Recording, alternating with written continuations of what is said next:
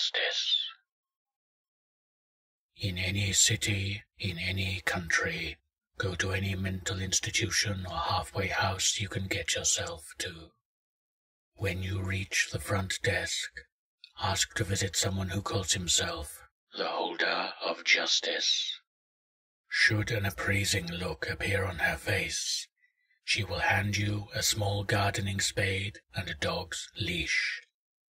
You will be led to the institution's basement, where the attendant will gesture to a trapdoor in a dark corner. Enter the trapdoor and climb the ancient wooden ladder down into the sub-basement.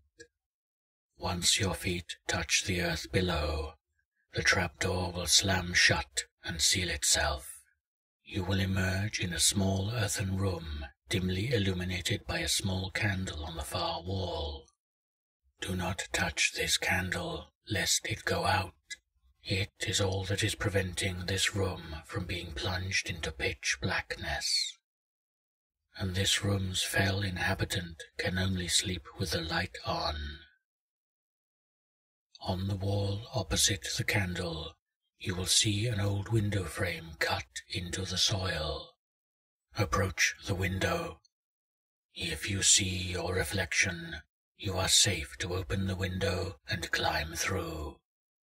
If you see no reflection, dive through the window as quickly as possible, for the creature who calls this room home has stirred and is ready to turn the light off and start its day.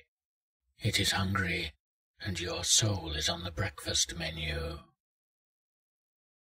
Once through the window, you will find yourself in a gargantuan subterranean cavern with small leafy plants growing in clusters as far as the eye can see, lit by a series of large braziers sticking out of the ground. Unless you have a serious masochistic streak, avoid looking up at all costs, for above hang the rotting and skeletal corpses of countless thousands of babies, their umbilical cords used as nooses. You will see gaunt, haggard-looking men in the distance, stooped at the waist, tending to these plants. Should one collapse in the middle of the field, don't bother rushing to his aid, for it is already too late. Besides, he will be back, as none can die here, not permanently anyway. Any who meet their fate in this place become the property of the holder, their souls forever consigned to tending this macabre garden. Keep moving. The farther you are from these haunted souls in their eternal work, the safer you will be. You will feel a nudge at your shin. At your feet will be a small wire-haired terrier wagging his tail happily and panting at you. He is to be your companion on this most unfortunate of quests. Should you hear the beginnings of a tiny scream, quickly clamp your hands over your ears. If you survive, then know that you were quick enough. At least, you were this time you would be wise to rip part of your shirt sleeve off and roll them into balls to stuff in your ears, in hopes that they will be enough to keep the screams at bay. For your task is to find and harvest one specific mandrake root in this field, and all of the legends about them are, unfortunately, true. Put as much distance between yourself and the nearest harvester as possible, for to hear the screams of a mandrake means instant death. The root you are looking for will not scream when you dig it up, so you will be safe from death on that front. Unfortunately, though, there are countless thousands of plants in this field, and you only have one dog to sacrifice and one life to freely live. I would get started if I were you as the clock is ticking. The holder is not the only inhabitant of this cavern, but he is the only one safe from his housemate. Every hour On the hour, a huge beast comes forth to feed on the harvesters in the field. If you are unlucky enough to observe its entrance, you'll notice that the other hunters ignore his presence, despite the fact that they are being slaughtered en masse. They have already died at least once and know that they will be back.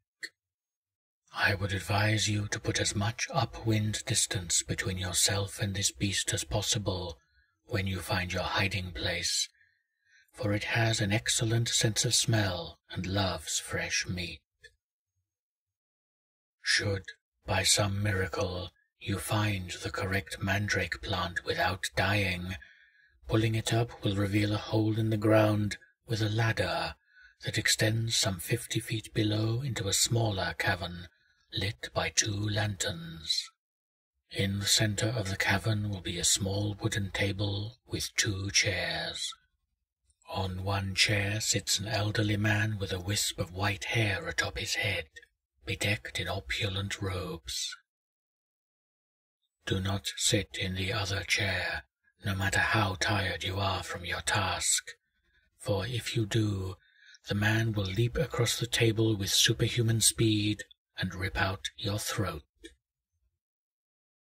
The man will notice your presence and look up at you with a scowl.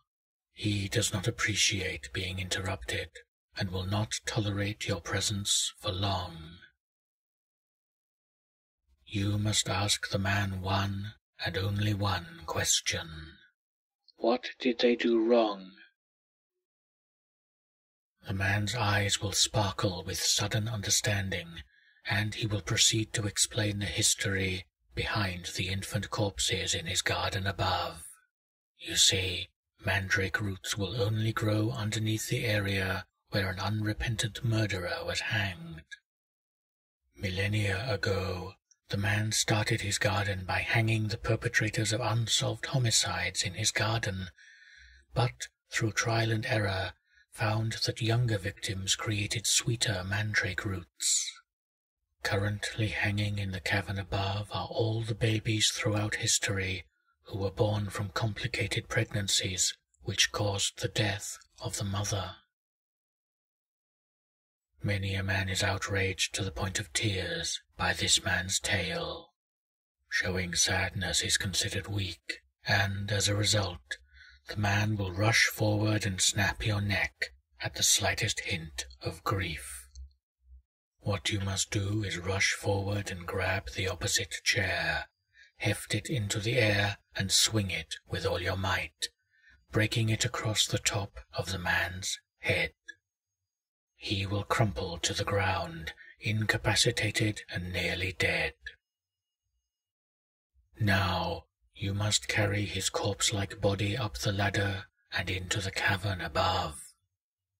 The harvesters will stop their work and watch you with hope in their eyes. Do not disappoint them. You will notice a noose already prepared for the man.